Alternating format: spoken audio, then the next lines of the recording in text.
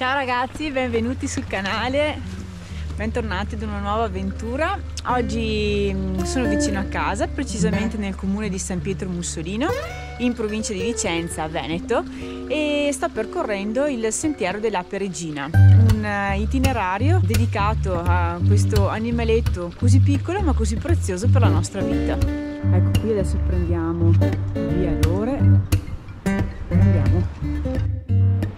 scorge Cima Marana, le piccole Dolomiti, la catena delle Tre Croci.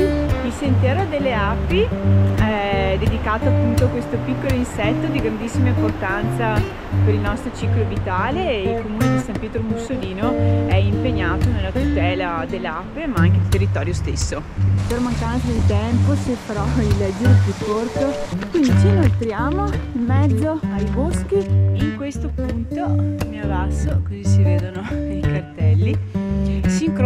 due sentieri. Il sentiero arancione è quello più corto, sono circa 7 km per 450 metri di dislivello, mentre il sentiero azzurro è quello più lungo, circa 13 km, 13 km e mezzo per 650 metri di dislivello. Percorrerlo ci vorranno 3 ore e mezza più o meno. Se hai bisogno di rilassarti, di riconnetterti con la natura, questo è proprio il posto giusto.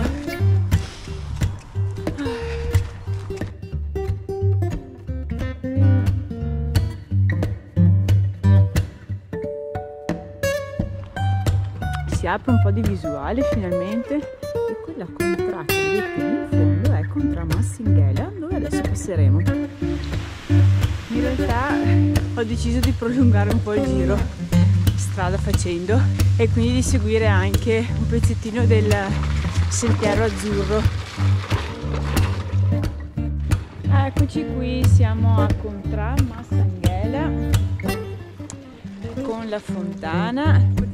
Praticamente qualcuno pensava che io mi perdessi in quel di San Pietro Mussolino. Steffi Fo è il mio nickname in uh, Instagram.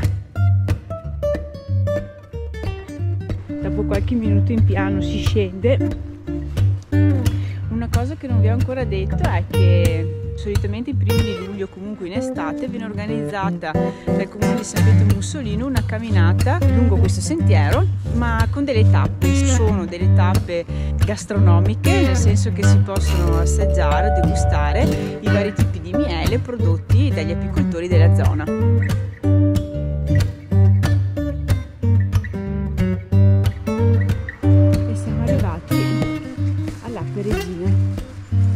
l'ape Gaia, costruito dallo scultore molto famoso Marco Martelar e con il legno delle piante abbattute dalla tempesta Vaia. Una volta aver visto l'ape Vaia si torna indietro dalla ciclabile.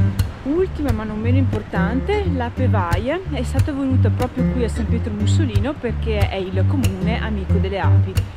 Io ragazzi vi lascio, vi ringrazio di avermi seguita in questo bellissimo giro eh, magari vi farò sapere quando ci sarà la camminata con i punti ristoro perché secondo me deve essere un giro molto molto bello e anche squisito